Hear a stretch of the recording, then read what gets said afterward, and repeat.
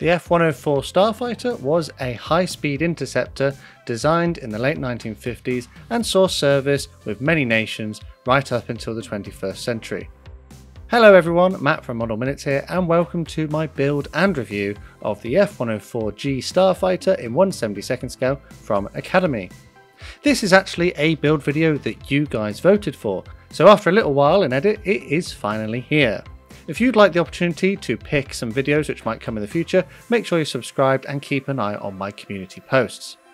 Anyways, about this build, I'll put a list of products I used on the screen now to give you an idea of the kind of things that I used during the build of this model.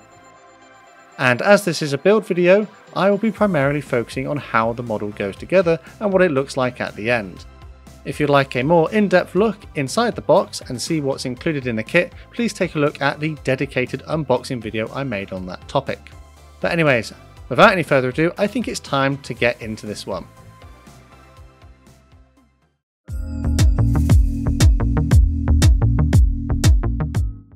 So starting off this build, I decided to use my snips to remove the parts that I needed from the sprue. Once I'd done that, any rough areas or excess bits of flash could be removed using a sanding stick or a sharp knife. I'm using Humbrol Liquid Poly here. This thin cement will flow into the, some of the gaps and create a good bond. It's not the thinnest product out there, but it works alright. To start off with, I'm assembling the two halves for the fuel tanks which go onto the underside of the aircraft. This is a simple matter to find the locating marks and then join them together, but you do need to make sure that you put them the right way around. When you've done that you should have four of them, two that go underneath the plane and two that go onto the ends of the wings. And with that I think it's time to move on to the next step. I cemented the cockpit component inside one of the fuselage halves and then I added the nose wheel landing gear leg into its little hole. There is a backplate component which gets glued onto the outside of the fuselage at the air intakes. Once this is in place you can then add the air intake cowling over the top. Make sure you get these the right way around though because if they're wrong they just won't look right.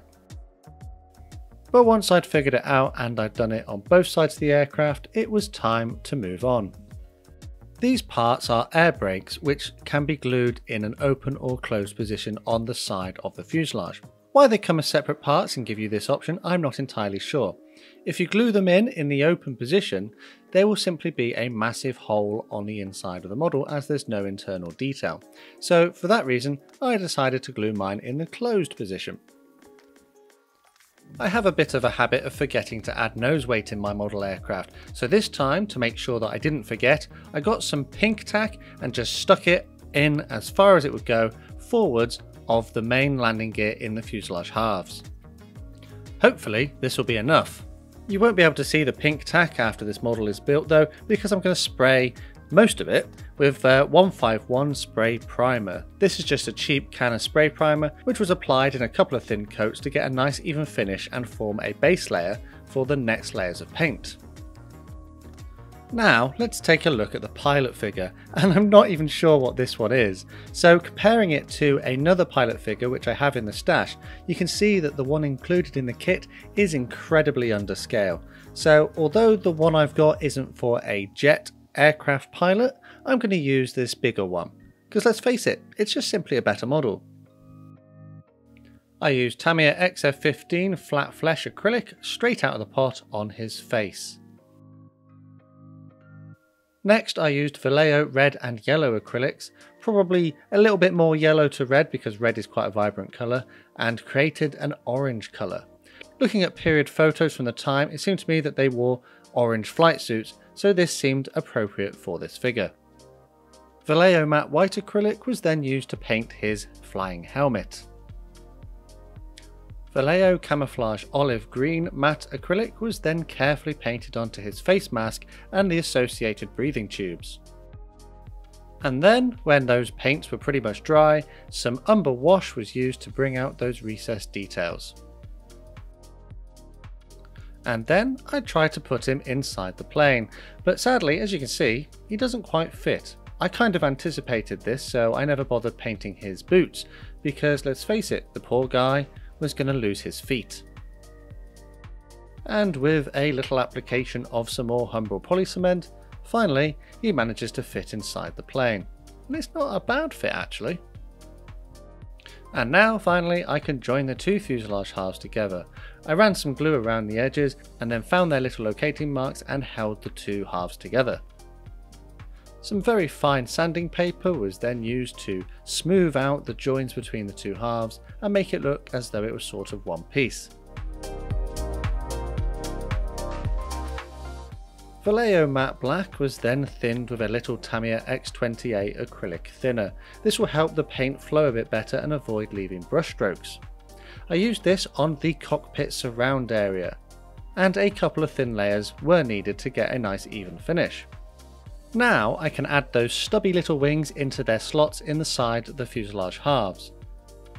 These two wings are meant to point downwards, that's to say they have a bit of anhedral, and I found them a little bit loose, so sort of had to hold them in place until they dried at the correct angle.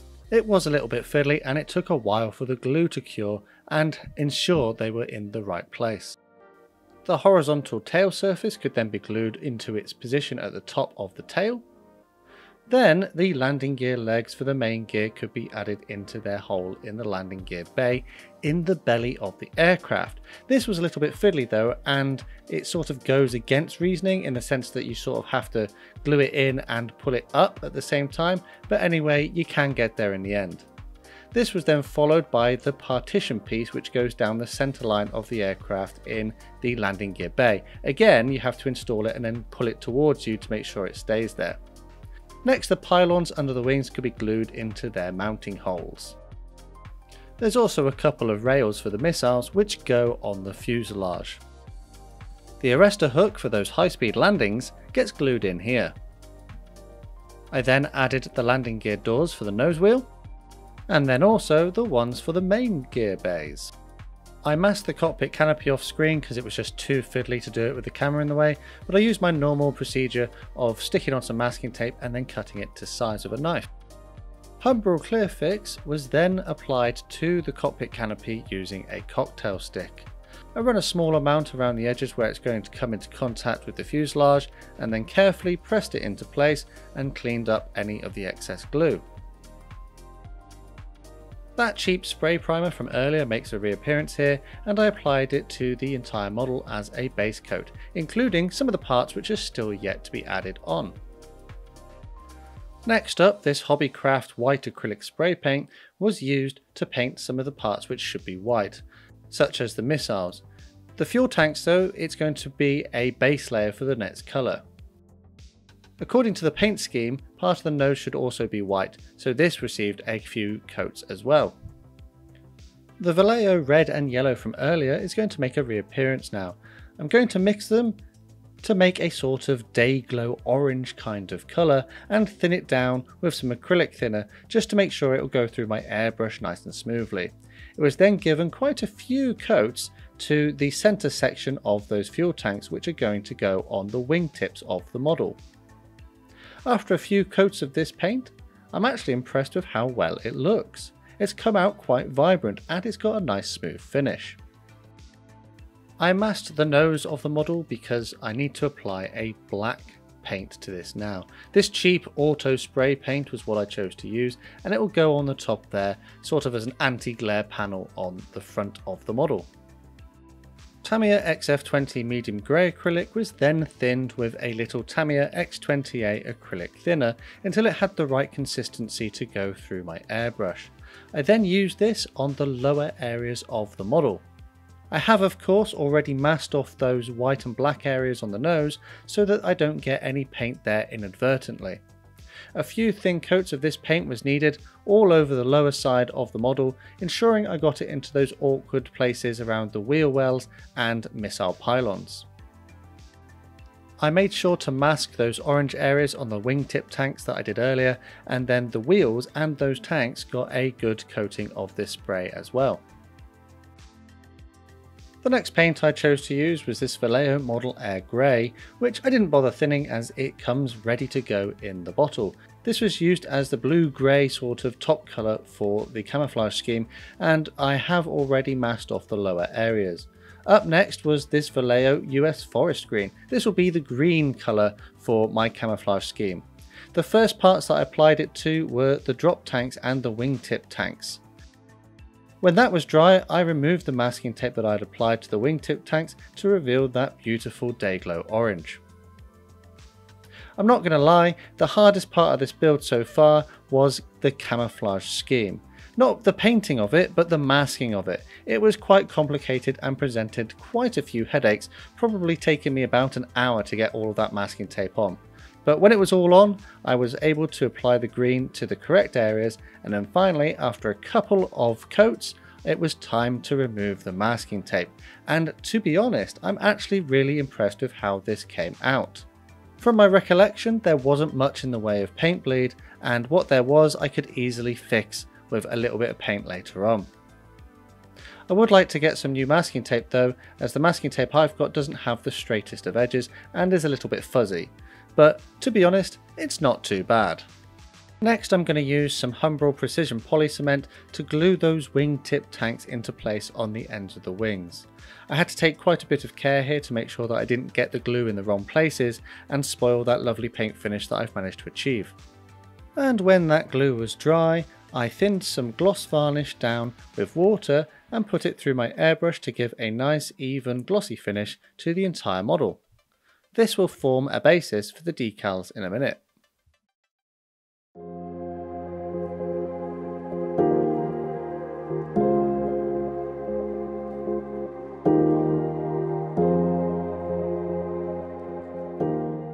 Having cut the decal sheet into more manageable pieces, the decals were soaked in some warm water until they started to release from the backing paper. I then put them to the side on some paper towel to blot away the excess water. I'm going to use Humbrol Decal Fix in this build as my setting solution. It's a little bit more aggressive than some of the other ones I have in my modelling supply and I find that Academy decals tend to be a bit thick and papery, so I'm hoping this extra aggressiveness of the solution will help soften them down into the surface details a lot more and prevent silvering. The decals were on the whole okay to apply to the model, not being too difficult. There are some larger ones which take a little bit of care and some smaller ones which you might end up losing or folding over on themselves, but on the whole they're not too bad to do. A little trick I learned though was that using some Tamiya extra thin cement very gently over the top of your decal will help to melt them down into the surface of the plastic. I only use this on the Academy transfers because I find them so thick and difficult to conform to surfaces that a little bit of extra melting, as it is, actually helps it go quite well. It's not a perfect solution and I wouldn't necessarily recommend doing this to better quality transfers as you do run the risk of melting them and this could end up ruining the entire finish of the model. So this is a risky step. The Vallejo black acrylic makes a reappearance here and I used this paint on the air intake cones and the trim around the outside of the intakes on the side of the fuselage. I also applied it to the tyres on the wheels as well as the seekers on the air-to-air -air missiles. This Vallejo aluminium paint was then loaded into my airbrush and it was used to paint the probe which goes onto the nose of the model and the engine exhaust which goes at the back. Vallejo gunmetal grey was then thinned down with some Tamiya X28 acrylic thinner and then loaded into the airbrush as well. This was then applied to the engine exhaust nozzle to make it a bit more burnt and a bit more weathered than just having it as an aluminium finish. Next up, this matte varnish was thinned with some water and then loaded into the airbrush. The entire model was then given a couple of layers of this paint in order to dull down that shine and protect the transfers. Here I'm going to use these black and brown cheap oil paints thinned down with some white spirit. This is going to create a nice oil wash which I'll put into the recessed details such as the panel lines and the rivets. Sadly, this kit doesn't have particularly deep molded detail, but I'm hoping that a little bit of uh, weathering is better than nothing at all. Any excess oil wash could then be removed by a cotton bud dipped in white spirit, working in the direction of airflow to simulate streaks of oil and the like. The wheels received a bit of this wash to bring out their recessed details, and the engine exhaust also had a good covering of this to further enhance the details that were on that part. The engine exhaust nozzle could then be carefully glued into the tailpipe of the model. A little bit more polycement was applied to the pylons underneath the wings and then the drop tanks added there. The main gear wheels were then added onto their legs. Not forgetting of course that the nose wheel needed to be added too. The air-to-air -air missiles could then be glued onto their pylons underneath the model. And the final part to add was the probe on the nose. All that's left to do now is to carefully peel back all that masking tape on the cockpit canopy and that's it. My build of the Academy F104G Starfighter in 172nd scale is now complete. So, what did I think of this model? On the whole, it's not too difficult to assemble. The most difficult part for me was getting that masking done ready for the paint scheme. I found that to be quite fiddly and time consuming, but on the whole, I think that the paint scheme came out quite well. I'm not entirely sure that all of the colours are completely accurate as per the instructions, but I did my best with what I had. I think it's worth mentioning as well that the instructions come in black and white and they aren't exactly the easiest to follow. The diagrams are a little bit cluttered and the black and white painting instructions are a little vague, so you're pretty much guessing at what you're doing half the time.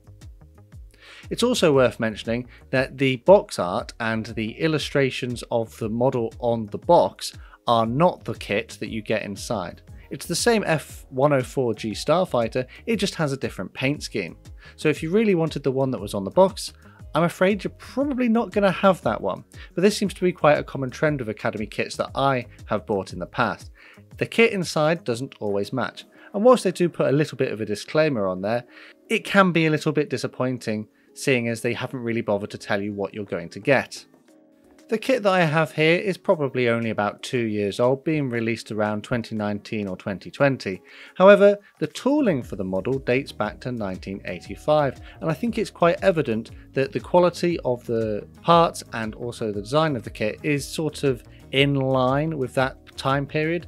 There are recessed details, but they're very shallow, and there isn't much in the way of internal detail which on such a large aircraft in 172nd scale, you'd expect to see something inside the landing gear bays, the cockpit, and even around those air brake areas where you can position them open, but what's the point if it's just going to be a black hole inside?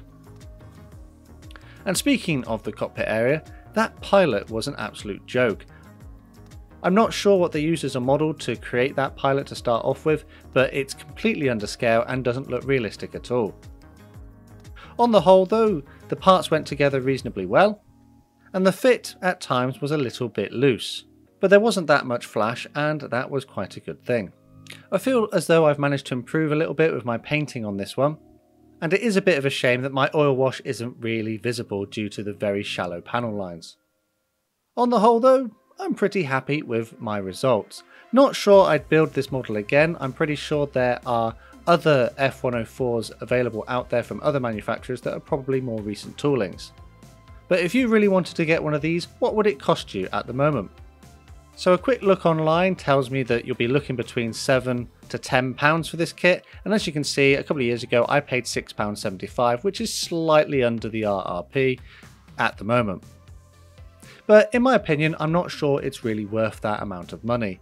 I feel that due to the points I've previously raised, such as the underscale uh, pilot, the lack of detail, and also something I haven't yet mentioned, but those decals being incredibly thick, and despite my little trick with uh, Tamiya Extra Thin, they still left quite considerable amount of silvering. So bearing all those points in mind, I'd probably be more content paying about £5 for this one. And with that, I think it's probably time to end this one here. So what do you think of my build and do you agree with me that it's probably a little bit more expensive for what it's really worth? Let me know down in the comments what your thoughts are. Please remember that if you'd like to take the opportunity to vote on any of my community polls, or even just be notified of any future releases, click that subscribe button and the bell icon so you don't miss a modelling upload. If you enjoyed this video and you'd like to help other people with similar interests see this one, please click that like button. It means a lot. A quick shout out to my patrons and channel members on screen now for the generous support they give my channel. They help support the channel by letting me get all of those consumables such as the paints and other products that I use during my builds. So a massive thanks to these guys. If you'd like to find out more about what becoming a patron or channel member means, take a look at the links in the description. Finally, I think the last thing to say is a massive thank you to you for watching this one, and I'll see you on the workbench again next time.